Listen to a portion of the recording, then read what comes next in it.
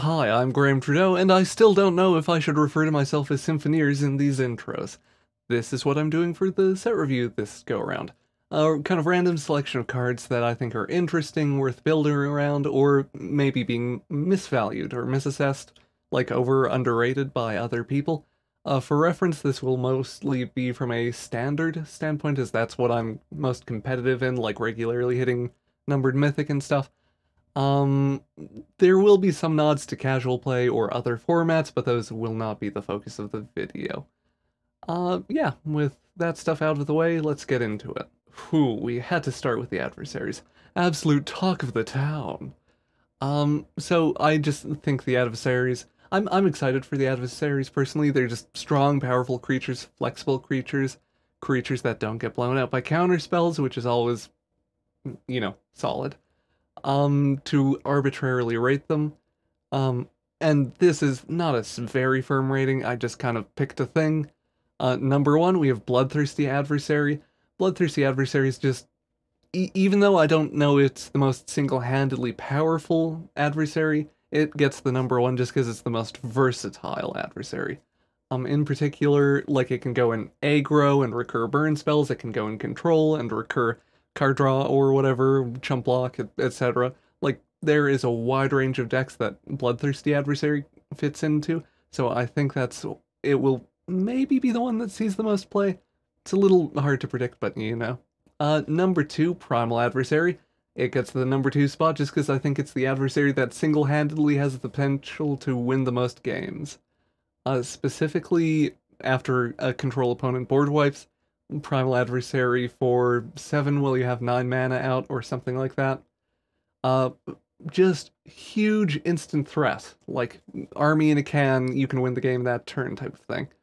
Very solid. Uh, the fact that animates lands too, very relevant for blanking a decent amount of removal, although depending on what removal is standard in the new standard, might not be super relevant, but yeah, just the adversary that I think has the most potential to kind of win games out of nowhere. Number three, Intrepid Adversary. Just another really good card in mono white. Doesn't uh doesn't cost three mana. So yay! Uh, in the number four slot, Tainted Adversary. This is the number one adversary in my heart. Uh, just a pile of zombies stapled to a card. Very good with um, Champion of the Perished might might not get there. Uh, I think it's one of the best cards, or like it will be the best card in black aggro decks, so that's something. Whether or not like zombies or some other shell gets there. I think an interesting potential or like an option to use the card that people might overlook is in combination with First Day of Class. A First Day of Class, if you're unfamiliar, gives creatures plus one plus one and haste, or like subsequently cast creatures. So if you do that and then play a Tainted Adversary kicked for even just like five or, hmm, yeah, five, seven, uh, that can do a kind of Primal Adversary thing. Even more so because you're getting twice as many zombies. They only last the turn, but if you're hitting for, you know, 15 damage or whatever, you probably only need that turn. So Tainted Adversary, lovely lad, but yeah, not, hmm, might, might be a little more on the jankier side of things, we'll see. Uh, Spectral Adversary in the number 5 slot. Also, like, I if I didn't hit it at the top, all these cards are really strong. I think they'll all see play. Spectral Adversary is, I think, the narrowest. Um, it can go in spirits, it can go in kind of tempo decks, control decks. Uh, it can do some kind of interesting parlor tricks of like phasing out your opponent, uh, your opponent's paladin class and making their combat math all wonky all of a sudden, uh, favorable for you or it can just like buy time while your tempo deck works. I think it's a very good spirit, good card, but kind of the least overall exciting of the cycle. Next up, we have Disturb. Uh, I think people might be overlooking Disturb a little bit. I don't know that it will be amazing, but I think Disturb presents an interesting angle to build out Azorius shells. In particular, some with in combination with some cards that have kind of been floundering so far, like Monk class. Uh, I think, is an important part of that shell. Just a 2-3 card that protects your graveyard. There will probably be significant graveyard hate in the new format. Not necessarily like Tormod's Crypt, you know, exile the entire graveyard, but a lot of good cards have incidental graveyard hate stapled onto them in Innistrad, so being able to protect your Disturb spells will be pretty important in any deck built around playing Disturb. Uh, the Pious Apparition half of Dennick too, just a good value generator, like, ooh, look at that good spirit. Faithful Mending is the other part of this shell I wanted to outline. Or like it's something I feel like people might forget in combination with Disturb creatures. Uh, you can, you know, chuck them into the bin, protect them with Dennick, cast them at your leisure. Um, I think the the overall deck will be more coherent than people immediately realize. So even if like I'm missing the shot or like you know, off base on uh, some of these cards, I think it's a general archetype to remember exists. Uh, next up, we have weird budget black cards.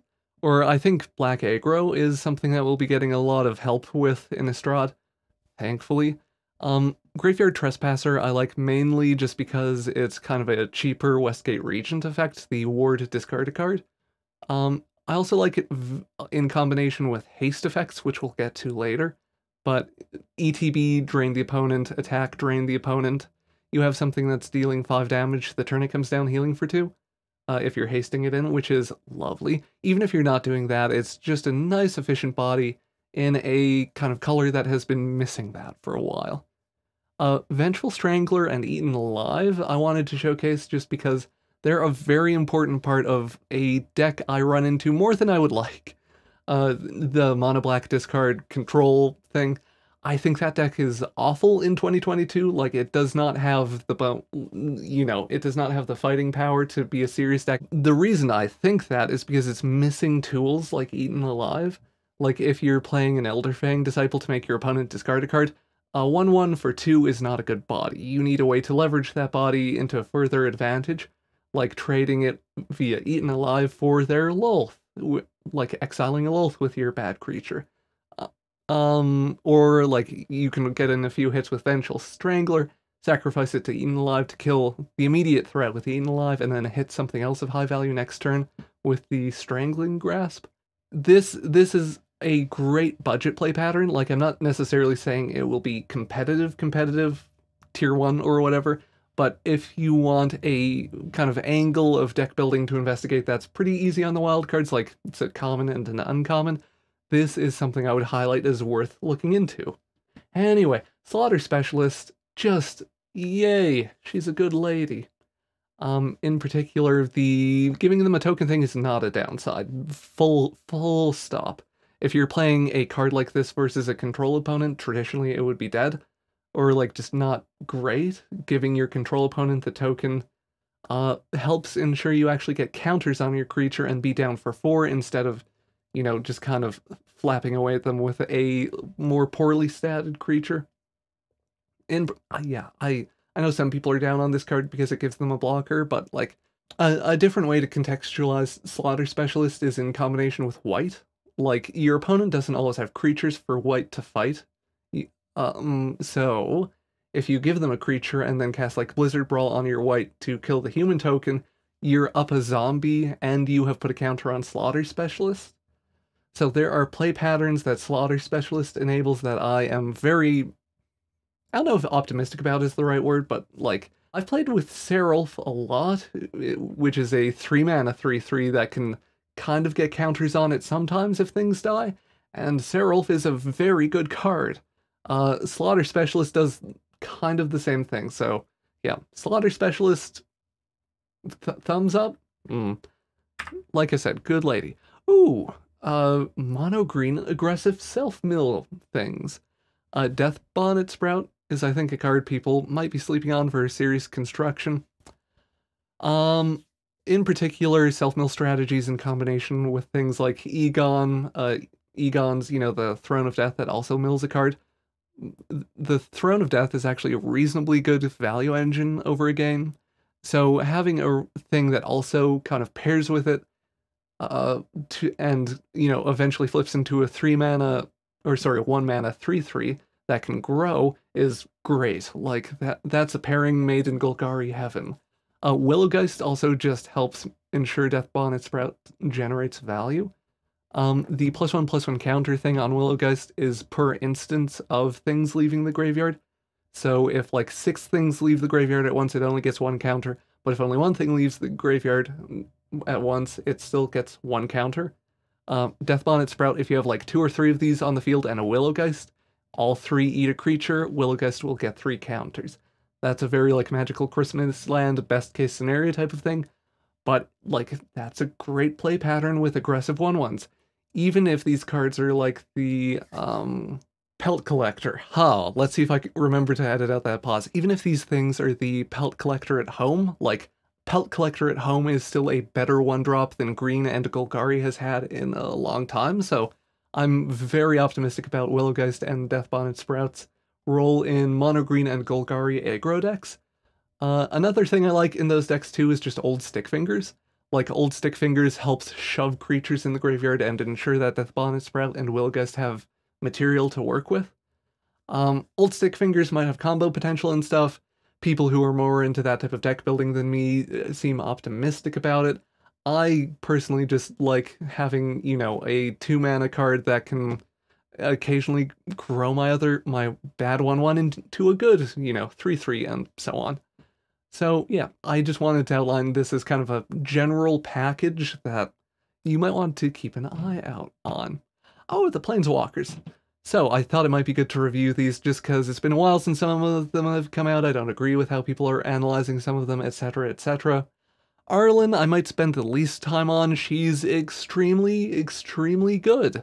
Um, she presents aggressive decks, a lot of counterplay versus control decks, and is efficiently statted, makes mana, does everything werewolves want to do, even if she doesn't fit in the werewolves kind of deck or package, or like even if that deck is not great, she can still just be generally useful in a Gruul, kind of aggressive deck. So yeah, Arlinn, thumbs up, very good, probably a card I will play a lot. Um, Wrenn and 7, one of the first cards spoiled, there are a lot of ways to build Wrenn and 7 that are very serious and probably very competitive. Um, yeah, like the abilities are just good. Making a tree folk that can be enormous and block a Goldspan Dragon, great. Mulching yourself in a set with graveyard synergies, also great. Uh, the zero is something I think a lot of people are going to undervalue. It's Journey for the Oracle, a four mana card on an ability that does not cost you anything, really. I, I might be overly optimistic on it. I have a Jadzi self-mill deck that I released a video on ages and ages ago. Wrenn and 7 does everything that Jadzi deck does, but for like 3 to 4 mana cheaper in every respect. And that Jadzi deck could get wins.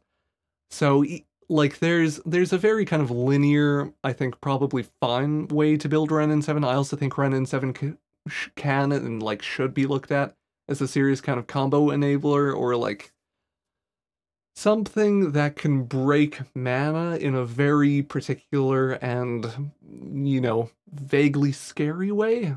I'm, I'm not saying Wrenn 7 will be super busted or anything. Simic options, Temur options, stormy things you can do with Wrenn 7 that are not kind of the first thing that springs to mind. Uh, with Teferi Who Slows the Sunset, uh, this is the Teferi I like the most out of the ones that have been released recently, mostly because instead of, you know, being bone grinding control, it's more of a mid-range card. In particular, I think the structural role it will fill, fulfill in a deck is less so of like tr Teferi's traditional role of being a core card or like a focus of the deck, and more so being a Basri Ket. Um, Basri Ket is a card I think almost everyone misused while he was in standard. Um, he's a tremendous bullfighting card, like you have to kill this, or the, uh, the ultimate will win the game for me. I look at this Teferi in a very similar way of like, you have to kill this or I will get two turns every turn. And you can use the plus one and minus two to help manipulate your hand and the board to make that process as costly for the opponent as possible. So I don't know you even need to look at like the plus one, minus two necessarily as control tools, so much as ways to extract value and like redirect your opponent's attention to Teferi. It's a little bit different from Basri Ket in that the difference between three and four mana for a card like that is a lot, although his plus one kind of offsets that. Uh, that's that's kind of my general feeling about Teferi at the moment, anyway. Next up, ooh, burn and spell slinging, kind of in general, have a lot of tools. Um, I think Poppet Stitcher is a card people are generally underrating or kind of not giving not giving its due. It's uh it, importantly, it's a second copy of Sedgemoor Witch. One of the big issues with Sedgemoor Witch from a deck structure perspective, or like if you're trying to build a really Sedgemoor Witch focused deck, is there's only four of them, and if they get killed or whatever, um, things can really kind of slow down. Poppet Stitcher provides good redundancy on that front. Also, the Poppet Factory effect of just converting the tokens to 3-3s, very good, very strong. You can occasionally, like, plumb the Forbidden on your opponent's end, end step, spit out a bunch of new pests and stuff, uh, if you have, you know, Sedgemoor Witch out. Um, convert all those pests to 3-3s, use all your new cards to clear the path, swing in for a ton of damage. Play patterns like that, I think, are something that might be might be legit. Mm. Uh, Smoldering Egg. The main thing I wanted to point out with Smoldering Egg is that I think the mana cost element, uh, 7 mana to flip the egg into Ashmouth Dragon, is a strength, not a weakness. Burn decks are traditionally limited to using like very cheap efficient spells. Uh, lightning bolts, shocks, etc., etc. It depends on the format.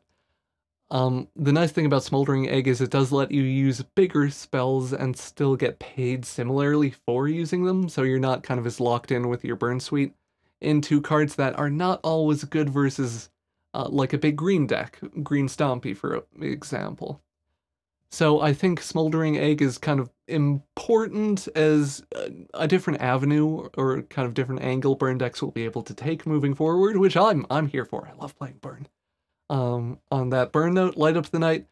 We, yay, uh, love a good X spell. It's not quite as good as Purphoros' intervention for the purpose of killing creatures, which doubled the mana you put into the X, but it can go face, which is big. Like, this is kind of halfway between Purphoros' intervention and Crackle with Power in a really kind of good, productive way. Um, Light Up the Night, lovely card, the flashback, remove X loyalty counters thing probably not going to be immediately relevant. I, I wouldn't be surprised if we got like a Chandra next set that it really works with. But for the moment, I think it's just a good X cost burn spell. Sacred Fire, Tiny Lightning, Helix, thumbs up. A Geist Flame Reservoir, this is very similar to Firemind's research, the Izzet card from Guilds of Ravnica, one of the Ravnicas. Um, the thing I like about Geist Flame Reservoir in comparison to Firemind's research, even though it's a mana more expensive, it's less color restrictive overall, which all always nice. Um, and the the burn mode is more flexible. You can kind of hit a target for anything, which helps deal with things in a similar way or like sim similar deck building. Huh, from a similar deck building perspective as Smoldering Egg. Um, and the the draw mode also just I think better. I don't remember I, in, in general, I think Geist Flame's kind of structure as a card it better suits the way Burn specifically wants to work of like keeping resources flowing, adjusting kind of on a granular level how much damage you're dealing where, kind of all that stuff. I don't know that it will be a key card, but I think it will be uh, important, especially versus control opponents, where uh, like board wipes and stuff that clear out thermo alchemists and things like that can usually be a pretty big issue. It's, yeah, part of why I don't think it will be a key card, sorry, to circle back, is just Prismari Command, Artifact Destruction is kind of, kind of an issue, but in best of three anyway, you can sideboard Geist Flame in and out as necessary. Uh, Rem Karolus, kind of an interesting card for burn just as a general archetype. I don't think Rem Karolus is like a make or break piece, but he enhances your burn and reduces the effect of the opponent's burn, uh, reducing the effect of opponent's burn in particular. Very relevant versus Izzet Dragons. Rem Karolus kind of playing Mirror Breaker in those situations will actually be fairly important or like demand attention in a very particular way. Uh, his protection doesn't work on himself. That's fine. Like, if they're killing your Rem Karolus instead of your Thermo Alchemist, you're winning. So yeah, Rem Karolus, good card. I don't know I don't know if a strong opinion personally is to like whether or not Boros Burn, Mono Red Burn, etc. will be the way to build Burn. or if it will be even be like a tier one deck or you know competitive deck in general. But I I'm optimistic. Like there's enough pieces we're getting here. Uh, some stuff I'm not showing to, like Thermo Alchemist, um, that I think Burn will have the best shot in standard it's had in a long time. Um, but yeah, we'll we'll see how it shakes out. Reckless Stormseeker. Ooh, haste. Arni Brokenbrow. The Arni. No, Arni Brokenbrow is the Arni Brokenbrow at home now. Uh, three mana plus one plus O and haste until end of turn. Target creature. Um, so it can haste itself in on its first turn and then haste another creature in on turn four, like say a Moonveil Regent. Um, or, you know, maybe a Florian, so the Florian can hit them and get in some extra damage to dig deeper for new cards. I think, like, Reckless Stormseeker is a very important aggro card. Uh, if you're interested in mono red aggro, you can craft four of this immediately. Like, this is one of the few cards in the video I will immediately just, like, mm, thumbs up. Craft four of, it's great. Arni Brokenbrow was the best part of 2022, like, non-goblins mono red aggro, and the like fall off from there was real steep. There's some other parts to the package too, um, the two one for one, the vampire and stuff, some other random creatures that will help flesh that out. Even if we don't get like clean mono red aggro back in standard with Innistrad, um, Reckless Stormseeker is going to be a huge and important part of either the, like uh, Rakdos aggro, Gruul aggro. It is a human werewolf, which is excellent typing if humans are in Naya at all, you'll want a Reckless Stormseeker. I don't think they will be, but... Mm. Uh, Florian, I... People seem to be hip to this card, like, just deal damage, draw cards. He's good. Um, Moonveil Regent, yeah, I, I'm also high on this card. I, I've sort of talked about them as I was covering this. I don't think you need to worry about, like, your colors, basically. It's just really good for card advantage. Like, it's a dragon that draws you more cards and deals damage when it dies. In particular, I like that its damage when it dies clause is way less restrictive than Leyline Tyrant. Like, you don't have to float mana and set it up, it just happens. There will occasionally just be situations where, like, pinging something for one is great. You can maybe use it in combination with Burn or something to get a kill you that you wouldn't have uh, otherwise had access to. Um, yeah, Moonveil Regent, good card. Ooh, random removal suite stuff. Yeah, so I just kind of wanted to go card by card here and talk about kind of some applications I think people might be over or underrating. Mostly underrating. I think a lot of the removal we're getting is amazing. Uh, Bloodline Culling, minus 5, minus 5 until end of turn kills any indestructible creature in Standard. Um, in particular, it hits Arlinn. So, if you're having problems with Gruul Werewolves in the upcoming Innistrad, get yourself some Bloodline Cullings, even though that deck does not uh, run, like, generate a lot of tokens, aside from maybe if that 6 mana Huntmaster or whatever is good. Um, Arlinn does generate tokens too. So yeah, the, the reason Bloodline Culling, like, really is just a hard answer to Arlinn the 5-5 gets Arlinn herself if she's in the wolf mode, the minus 2 minus 2 takes care of wolf tokens. Uh, it is a just wonderful, wonderful bit of tech, bit of removal. Uh, also useful too versus zombies and stuff like if that Poppet Lit Stitcher line from earlier I mentioned is a thing. You can Bloodline Culling at instant speed before they flip over into 3-3s. Uh, yeah, Bloodline Culling. There are worlds where this is not immediately like great removal depending on how the meta shakes out, but remember that it exists. It's really good. Uh, foul play Foul play is a wonderful tool for something that has had no room to thrive in 2022, which is to say, like, mid-range, value grindy decks that aren't just blood on the snow loops. Um, spot removal in particular, or spot removal that draws a card in particular, is something that uh, mid-range decks really like. Um, that type of card advantage has a great home in Golgari midrange. I mostly wanted to highlight this as like a best of three card versus mono white aggro, even mono green aggro, maybe humans. Um, it's an option to flesh out your removal suite in kind of black. Meat Hook Massacre, the Bastion of Remembrance effect, staple to a Wrath. It's not quite the Bastion of Remembrance effect, but just as a Wrath, I think this is very good. Um, in particular, I think people are underrating just how good like minus one, minus one, minus two, minus two, etc. will be. Uh, even in creature decks, like if you're playing Golgari, you will often win creature sizing matchups. Uh, so you can do this like pre-combat even. Your creatures will shrink, but you'll still get in it. You'll clear the way, like of all their dumb little tokens or whatever. Still get in for some damage. Um, the kind of bastion or the the drain modes on it help kind of offset the fact you've sh shrunk your own creatures. L lovely card, very good wrath. Fateful Absence, best removal in white in standard for years. Craft four of this. It can go in basically any white deck.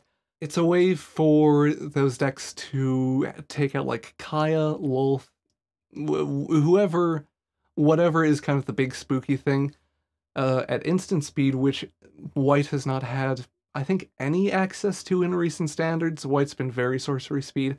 Uh, Vanquish the Horde, I think, will be better than people expect in the new meta, or like in Innistrad meta. Um, in particular, I know there's talk about how, like, just play Doomskar or whatever. But if your opponent is going really wide, uh, and you can vanquish the Horde for, you know, two mana, three mana, without having to spend mana on the foretell, it's just like, mwah, chef's kiss, amazing. Um, it's probably going to be more of a best of three card. I mostly play best of three when, you know, we have a best of three queue to play in. Hey, Wizards, cool, cool 2022 decision. Uh, but yeah, um, Vanquish the Horde, I don't think Doomskar is strictly better. I think in best of three it has some room to shine as just hyper efficient Wrath versus go wide strategies, whether that's like the current mono white or some Poppet Stitch or Sedgemoor Witch thing. Uh, yeah, card card two, keep in mind. Ooh, Slow Selesnya. Um, so in particular, or like I, I won't spend as much time as I have talking about individual cards here. I think Selesnya is getting a lot of tools to grind out like a good, just really solid mid-rangey, control-y, mid-rangey game. Um, Augur of Autumn in particular, excellent value generator, like Augur of Autumn can single-handedly define how a deck works. Um, Sun Gold Sentinel too could be very important depending on how how much people are relying on disturb cards in their graveyard in general. Uh, Sunset Revelry is a excellent kind of control or like mid-range control card. Adeline, wonderful token generation versus control. There's a lot of tools here for a mid-range Selesnya deck. Um, Consuming Blob's creature generation, also great. Uh, that type of deck hasn't really had room to thrive in the 2022 meta, partly because of creature selection, partly because best of one hyper polarizes in general, like aggro or control. I think in best of three, it will be a really kind of rich, rich vein to mine. Um, you know, just it's oozing with value. Oozing with value. So yeah, Selesnya mid-range. I don't know if it will be human specifically. There might be some other stuff to work in. Pack Leader, uh, Werewolf Pack Leader is actually a human on his front side too, which is a good thing to keep in mind for Selesnya. For humans, just, you know, stuff in general. Uh, lots, lots of stuff to work with there. Ooh, random cards? Random cards. We'll, get to those in a second. Um, so the human package in general, I think will probably just be in Selesnya. I don't know that there's enough support in other cards for it. I do think Jerren Corrupted Bishop is very good. Um, the Abzan Splash in general might not be worth it. I think that will kind of depend on like if Infernal Grasp or other humans in black end up being kind of an interesting way to build it. Uh, creeping in. It's not so much that I think Creeping In is an excellent card in itself, more that I think it's a very low cost include. I think it beats out not all manlands, but like in decks that want to grind out games. Uh, if if there's like an Abzan Humans deck that wants to go long, I think Creeping In will fit in there, or like Orzhov maybe. Um, I think it's just a generally low cost include in sacrifice decks. Rite of Harmony, this card's busted. Woo! keep it in mind for your human decks with Katilda. Uh, she is the Dawnhart Coven. The the mana generation in combination with the Rite of Harmony in particular is a really compelling resource engine for any type of human deck.